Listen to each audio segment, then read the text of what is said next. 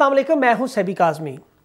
नाजिन कल ट्विटर पर, social media पर और रात को टीवी पर भी बहुत से ऐसे प्रोग्राम थे जिनमें बार बार एक सहाफ़ी मतीउल्ला जान साहब को जो बज़ाहिर किडनैपिंग, पुलिस की वर्दी में, एक गाड़ी में लोग उठा कर ले गए। सीसीटीवी फुटेजेस थी, उस पर बहुत बात होती रही और फिर उन, दिखाया गया कैसे उन्होंने अपना फ़ोन उस, स्कूल में बच्चे के फेंका और वहाँ से लाया गया और एक एक तासर बिल्ट किया गया ट्विटर पर सोशल मीडिया पर, बल्कि साफ़ कहा गया बहुत सी जगह पर कि एजेंसियाँ इन्वॉल्व हैं एजेंसियों ने उठाया, इनकी जान खतरे में है।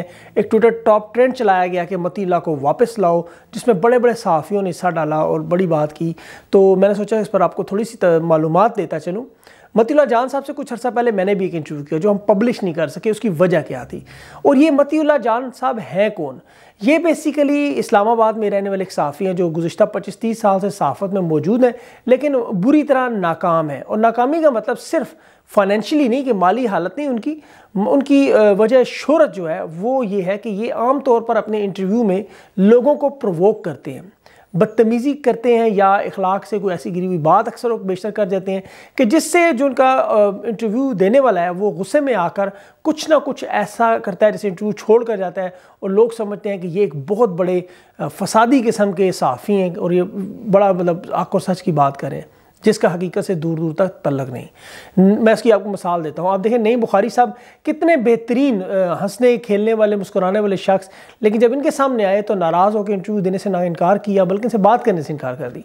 और फिर वो इंटरव्यू लोगों ने जगह जगह दिखाया और उन्होंने ये साबित करने की कोशिश की कि चूँकि वो पाकिस्तान तहरीक इंसाफ पर वो, इसकी वो हमायत नहीं करते मतीला साहब तो इस वजह से उम्मत नईम बुखारी साहब ने इनको इंटरव्यू नहीं दिया। इसके बाद बैरिस्टर सैफ को देख लें, पाकिस्तान की सियासत में सबसे पढ़ा लिखा शख्स इस वक्त।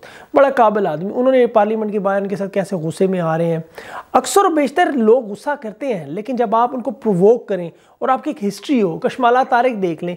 ये इंटरव्यू करने गए थे। टॉपिक कुछ और था डिस्कशन कुछ और थी, लेकिन वहाँ इन्होंने पर्सनल क्वेश्चन शुरू कर दिए, जो कि कैमरे पर एक खातून से मुनासिब नहीं थे। उसके बाद जो हुआ, आपको पता है। इस तरह के बहुत से अनगिनत ऐसे वाक़ात हुए हैं। साफ़ी सवाल पूछ सकता है, लेकिन इसका ये मतलब हरगिज़ नहीं होता कि आप दूसरे की पगड़ी उछाल कर ना सिर्फ़ के हाथ पे पकड़ें, बल्कि उसके गले में डालकर रगड़ना भी शुरू कर दें। क्योंकि फिर जब यही मरहला इनसे पूछा जाए तो फिर तंग होते हैं। इनसे मैंने इंटरव्यू में एक सवाल पूछा कि पी एम एकेडमी से आपको निकाला गया, आप कुछ गैर अखलाकी सरगर्मियों में, जिनकी हमारे मज़हब में, हमारे माशरे में आमतौर पर ममानत है, उनमें मुलविस थे तो इन्होंने बड़ा गोल मोल जवाब दिया, फिर गुस्से में आ गए, और फिर ये कहते आप ये इंटरव्यू पब्लिश नहीं करेंगे। और फिर इन्हें इस तरह का तासर लगा कि मेरे इंटरव्यू से इन्होंने जो एजेंसीज थी, उनको इस तरह की ज़बान इस्तेमाल शुरू कर दी कि मैं वो इंटरव्यू पब्लिश ना कर सकूँ। और ये कह सकें कि आज़ादी सहाफ़त पर कदगन लगी गई। लेकिन आम तौर पर आप जानते हैं कि जब भी पाकिस्तान में ये लोग इस तरह का करते हैं कि इनके ऊपर अगवा का या इनके ऊपर कोई किसी का मसला हो, अभी एक सहाफ़ी का मसला हुआ था, उन्हें अगवा बाहिर किया गया, बाद में पता चला कि वो किसी औरत का मसला था। इस तरह के बहुत से ज़ाती मसाइल हैं और सबसे बढ़कर इनको जो रास्ता दिखाने वाली ट्विटर पर इनकी जो मैडम है गुल बुखारी साहिबा, उन्हें भी इसी तरह अगवा किया गया, फिर वो कनाडा गई, वहाँ उन्होंने नेशनैलिटी ली, अब वो वहाँ पर ओल्ड एज बेनिफिट्स ले रही हैं, शायद इस तरह का कुछ उनका मामला है। उनके साथ उनके कुछ और हवारी हैं, ये पूरा एक जत्था है जिसमें ये लोग शामिल हैं। इन सबने एक दूसरे को रास्ता ये दिखाया कि आप अपनी फ़ाइलें तैयार करें और ताकि ये फ़ाइलें बनती रहें, आपके अपने केसेस रजिस्टर्ड करवाएँ। और फिर एमसी इंटरनेशनल और यहाँ पर किसी तरह एक दफ़ा का नाम आ जाए कि जी, आज़ादी सहाफ़त बड़ी ख़तरे में है पाकिस्तान में। आपकी जान को ख़तरा है, एजेंसियाँ आपके पीछे हैं क्योंकि आप बहुत बड़े सहाफ़ी हैं और बड़े बड़े राज अफशां करते हैं। इसलिए आप वहाँ से निकलें और गैर मुल्की मतलब कैनेडा, अमेरिका, इंग्लैंड, ऑस्ट्रेलिया जिन मुल्कों की आपको नेशनैलिटी मिल जाए, फिर वहाँ पर आपको ताकि बेनिफिट्स भी मिलें, फिर आप वहाँ पर रहें और वहाँ बैठ कर फिर आप पाकिस्तान के खिलाफ प्रोपोगंडा करें और दुनिया की एक बड़े नाम बनाए। और जब ये बाहर जाते हैं तो इनकी परदेशियों की हालत देखें। वो हुसैन हकानी साहब हो गए, ये गुल बुखारी होगी, उस तरह गुराया नाम का शख्स है इसको पूरा नाम पता नहीं किया इस तरह के बहुत से लोग ऐसे हैं। अभी वो पीटीएम की एक लड़की इसी तरह गई हैं कि वो, ये सब लोग बेसिकली एजेंडा यही होता है। और अगर ये काम ना चल सके इस तरह, उनको वहाँ की दाल ना गल सके तो फिर ये पाकिस्तान में रहते हुए फिर इनको आप देख लें। और इनके सामने एक और मसाल है देखिए अक्सर अवकात मलाला यूसुफ जई को भी एक मिसाल समझते हैं कि देखो उनके साथ हुआ तो फिर उनको नोबेल प्राइज़ मिल गया। और आपको पता है नोबेल प्राइज़ के साथ एक बहुत बड़ी रकम ही मिलती है, जैसे हम लोग बाद में फ़ंड बना लेते हैं और चैरिटी के काम शुरू होते हैं। खैर तो ये लोग इसी तरह इनकी भी जेन में होता है कि हम लोग भी शायद सहाफ़त में कोई बड़ा नाम बना लें, हमें भी कुछ तरह के प्राइजेज़ मिल जाएँ।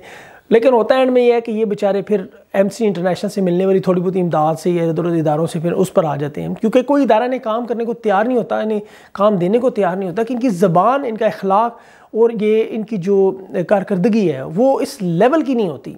वरना तीस साल कोई भी काम करें, आप कहीं ना कहीं पहुँच ही जाते हैं। अभी इन्होंने रिसेंटली जो सुप्रीम कोर्ट के साथ का मसला चल रहा है, अभी बारह घंटे बंद की पेशी थी या तेरह घंटे, अब तो शायद कुछ टाइम कम रह गया होगा। आपका हमारा टाइम डिफरेंस है यहाँ का। उस वजह से, लेकिन जब इनकी पेशी होगी तो वो इस वजह से कि इन्होंने जजेस के ऊपर, जो सुप्रीम कोर्ट के सात जजेस हैं जस्टिस फायज ईसा केस की हमायत में उनके ऊपर ऐसी बातें की हैं जो इखलाक से गिरी हुई थी, जिस पर उन्हें बुलाया गया था। आमतौर पर जजेस बुलाते नहीं, लेकिन आप यकीन करें, और अदलिया को वैसे बुलाना नहीं चाहिए, इस तरह इतनी ज़्यादा अहमियत नहीं देनी चाहिए। लेकिन अब एक शख्स बाहर निकल कर रोज़ाना खड़ा होकर इस तरह के नारे लगाए, इस तरह की बातें करे, दिन रात करे और उसका एक जत्था उसकी हमायत करे तो फिर ज़ाहिर एक टाइम आता है कि लोग कहते हैं, यार, पूछे तो सही, इसका मसला क्या है? गाँव में आमतौर पर चौधरी ने ऐसे नाई रखे हुआ करते थे। वो लोग ये क्या करते थे कि चौधरी की बड़ाई बयान करते थे बहुत ज़्यादा, और जब नाराज़ हो जाए चौधरी से तो फिर चौधरी की बुराइयाँ करके पूरे गाँव को उसका दुश्मन बना देते थे। आजकल सहाफत में भी इस तरह के बहुत से नाई आपको नज़र आएँगे, और इस, इन नाइयों का काम ही होता है। देखें, एक नाई वो होता है जो मुल्क की बड़ाई बयान करे, और अगर आपको मुल्क की बड़ाई बयान करते हुए कोई नाई कहे तो ये आपके लिए फ़ख्र होता है। लेकिन आप जब लोगों की ताकतवर लोगों के एहतसाब की बात करने पर आप उनके जो मुखालिफ पार्टियाँ हों, उन पर उनके दुश्मन बने तो फिर आप दूसरी तरह के नाई होते हैं। अब नाई होना बुरी बात नहीं, एक पेशा है, लेकिन ये नाई होना इसलिए बुरी बात है कि ये लोगों को उनका दुश्मन बनाते हैं, नफ़रत पैदा करते हैं। इदारों के ख़िलाफ़, लोगों को आपस में, लोगों के ख़िलाफ़। और नाम इनका क्या होता है कि ये सच और हक की बात करें। लेकिन दर हकीकत ये सिर्फ़ और सिर्फ़ उन लोगों की कि कल को आने वाले वक्तों में जब ये ताकतवर होंगे तो इन्हें फ़ायदा पहुंचाएँगे। जैसे जस्टिस फायज ईसा साहब हैं, वो आने वाले दिनों में चीफ जस्टिस होंगे नवाज़ शरीफ साहब का कोई नवासा, कोई नवासी, कोई इस तरह का लीडर बन जाएगा मुल्क का। तो ये लोग इन्हीं के बच्चों के फ़ायदा हो गए, इन्हीं की इस तरह दोस्तियाँ बनती हैं, इसी तरह इनके जहाज़ों के चक्कर लगते हैं, इसी तरह प्लाट बनते हैं। पाकिस्तान में जो सहाफ़ी इतने बड़े बड़े अमीर हुए हैं तो उसकी पीछे यही स्टोरियाँ हैं। लेकिन अब इन लोगों को ये भी सोचना चाहिए कि जिनकी आज हमायत करते, कल ये भी आज़ादी सहाफ़त को रोकते रहे, जंग के पर्चे रोकते रहे, जियो को बंद कराते रहे ए आर चैनल को शट कराते रहे, लोगों को ज़बरदस्ती निकलवाते रहे, ये जिनकी आजकल हमायत करते हैं। तो इन्हें ये चीज़ें सोचनी चाहिए और दूसरी बात है, अगर दिन दहाड़े अगर दारकूमत में ऐसा होता है तो ये भी अचनबे की बात है, लेकिन एक मेरी बड़े अच्छे सहाफ़ी से रात को बात हुई तो वो ये कह रहे थे कि प्राइम मिनिस्टर के नोटिस में ये बात है, शहजाद अकबर साहब जो हैं, वो बल्कि इसको देख भी रहे हैं और तमाम एजेंसियों ने कहा, हमारा इससे कोई तलक नहीं। हम क्यों एक अननोन बंदे को इतनी ज़्यादा इंपॉर्टेंस दें या उन्होंने किया हो? इनका अगर कोई केस है भी तो सुप्रीम कोर्ट में चल रहा है, उसका पुलिस के साथ मसला होगा और पुलिस गर्दी तो हम जानते हैं। लेकिन अगर किसी सहाफ़ी के साथ इस तरह जनवन वाक़ हो तो उसकी तो भरपूर मजम्मत करेंगे, हम बल्कि उसके साथ खड़े भी होंगे।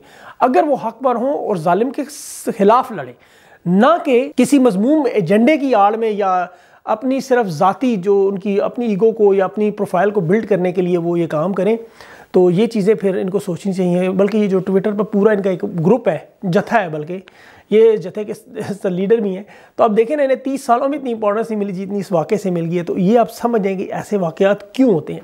और क्यों फिर ये मशहूर होते हैं? क्यों फिर इनको ब्लू ट्रिक्स मिलते हैं गूगल से फेसबुक से यूट्यूब से और इनकी आमदनियाँ बढ़ती हैं। अगर कुछ भी ना हो तो कम अज़ कम इनकी फ़ैन बेस में इजाफा होता है क्योंकि एक सेगमेंट तो है, हर जगह पे आपको पता है, सारे लोग तो एक जैसे नहीं हो सकते। कई जगह इनके हम ख्याल जो है, इनके हम मकतब इनकी जो सोच के हामी लोग हैं, वो ज़रूर होते हैं उनको फिर ज्वाइन कर लेते हैं। लेकिन हकीकत को जान कर ये मथीला जान साहब के साथ मेरी, उनकी फैमिली के साथ मेरी पूरी हमदर्दी है। अल्लाह ताला उनको अपनी हिफ्ज़ अमान में रखे, हर एक को रखे, हर साफ़ी को, जो इंसान भी काम करे, किसी का जो इनके भी बच्चे हैं, इनकी भी फैमिलीज़ हैं। लेकिन इनको ये भी सोचना चाहिए कि जो साथ साथ जो जो इदारों पे, लोगों पर जो ज़ाती हमले करते हैं और अपनी ज़बान और अपने अखलाक पर भी थोड़ी तोजह दें और ताकि सहाफ़त करें, यार आप खुदारा। बजाय ये कि आप लोगों के जेनों को परागंदा करें। अगर इन्होंने आवाज़ उठानी है तो किसी मजलूम की उठाएँ। आप पाकिस्तान में कितने लोग हैं जिनके साथ ऐसे केसेस हैं? आप ताकतवर के एहतसाब या ताकतवर के पीछे हमेशा भागने का या उसकी हमायत करने का आपको कोई फ़ायदा नहीं है। आप आवाज़ उठानी आम पाकिस्तानियों के थोड़े मसाइल हैं, आप उन पर बात उठाएँ, आप करें सुप्रीम कोर्ट पे तनकीद करें, उन्हें कहें जो लोगों को इंसाफ नहीं मिलता, क्यों नहीं मिलता इनको? आप बजाय ये कि मीर शकील रहमान का केस होगा, या जस्टिस फायदीसा का केस होगा, या मियाँ नवाज़ शरीफ साहब का केस होगा एहसन इकबाल का होगा, इस तरह के लोग हैं तभी आप लोग जाकर ये एहतजाज करेंगे और अपने धरने रिकॉर्ड कराएँगे और अपने अखबार के ड्रामे या या हकीकत अल्लाह जाने। अभी आने वाले वक्त में, अभी खुद ही किताब लिखेंगे खुद ही ट्विटर पर बताएँगे, अब इनके इंटरव्यूज़ भी चलेंगे तो ये सारी आपको ज़ाहिर आपको पता पब्लिसिटी स्टंट भी हो सकता है, लेकिन हकीकत कुछ भी हो अल्लाह ताला सबको महफूज रखे, लेकिन बेसिकली इन लोगों को ये चीज़ याद रखनी चाहिए कि अगर पाकिस्तान है तो आप हैं, आपकी आइडेंटिटी है ये।